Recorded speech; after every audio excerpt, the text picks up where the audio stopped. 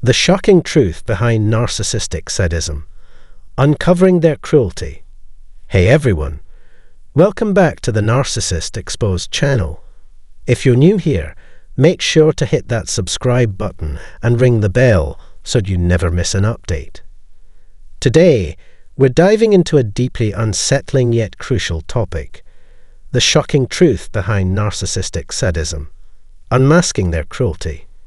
We're going to explore the dark side of narcissism, where it intersects with sadistic tendencies, and what drives these individuals to inflict pain on others.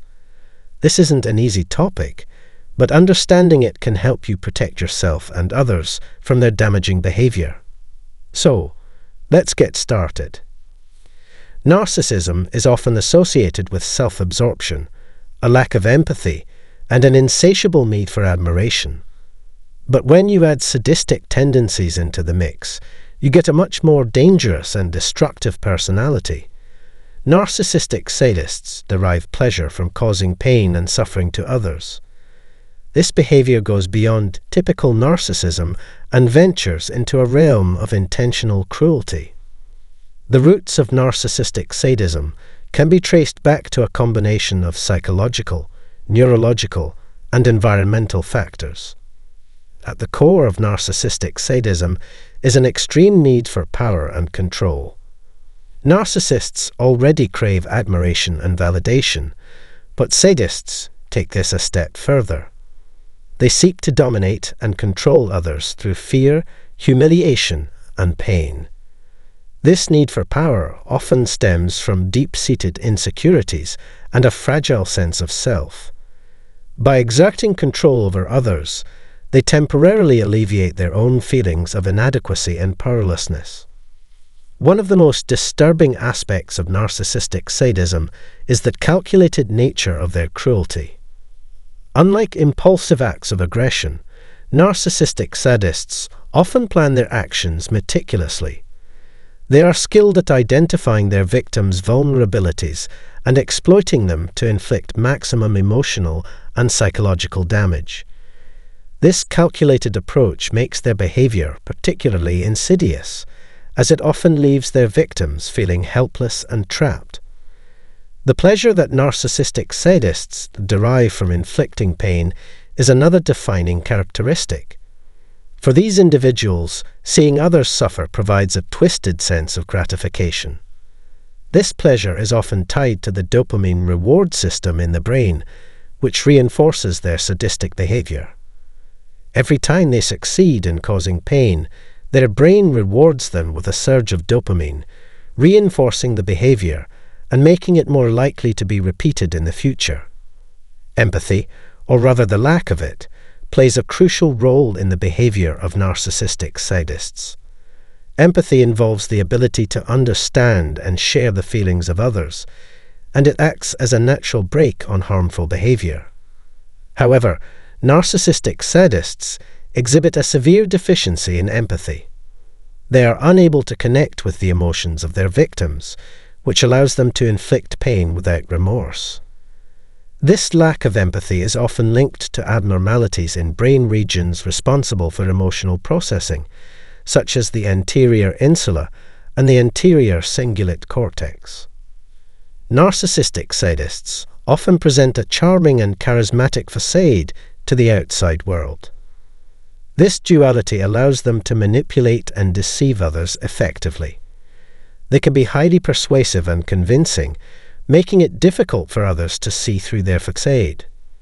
This charm is a powerful tool that they use to lure in their victims and gain their trust, only to later exploit and harm them. The impact of narcissistic sadism on victims is profound and far reaching. Victims often experience intense emotional and psychological distress, including anxiety, depression, and post traumatic stress disorder, PTSD.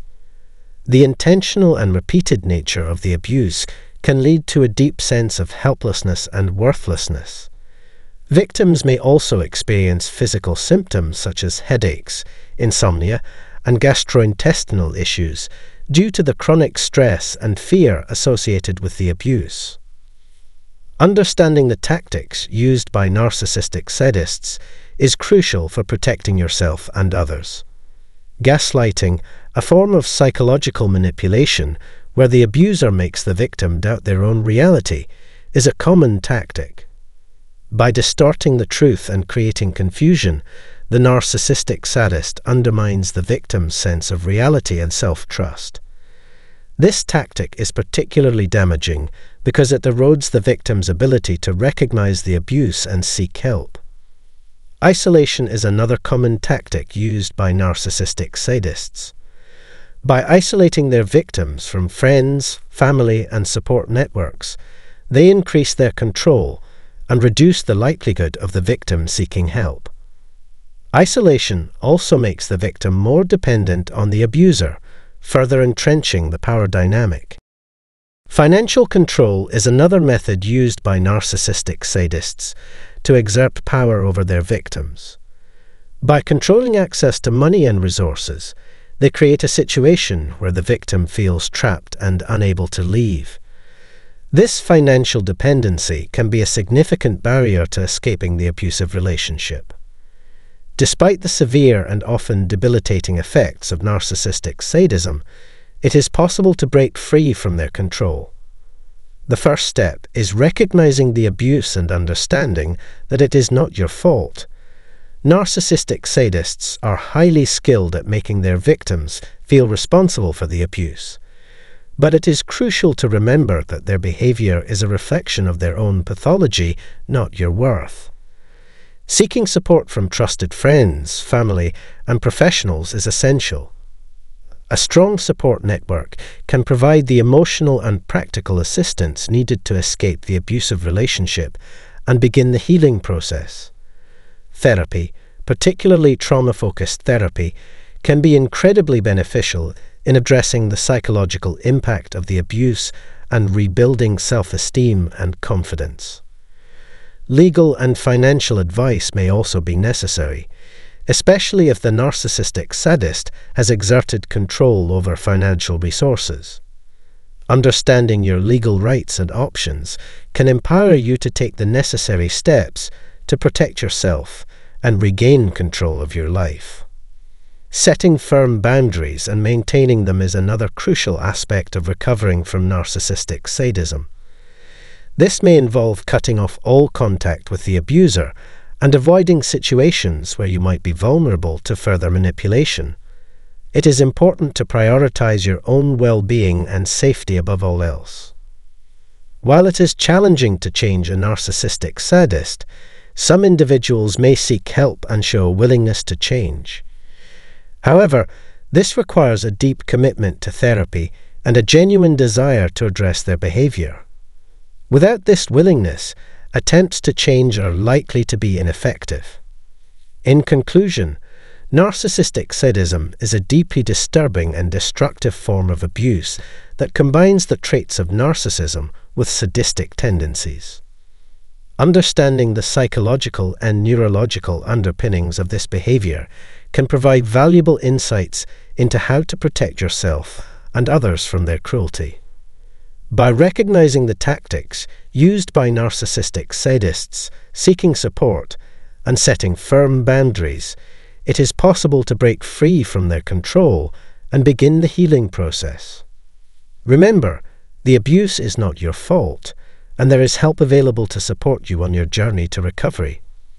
And there you have it, folks, the shocking truth behind narcissistic sadism and the cruelty that defines their behavior.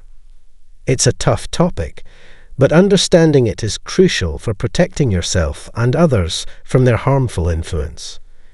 If you found this video helpful, please give it a thumbs up and share it with anyone who might benefit from this information. Also, leave a comment below with your thoughts and experiences. We'd love to hear from you. Thanks for watching, and we'll see you in the next video. Don't forget to subscribe and hit the bell icon for more insightful content.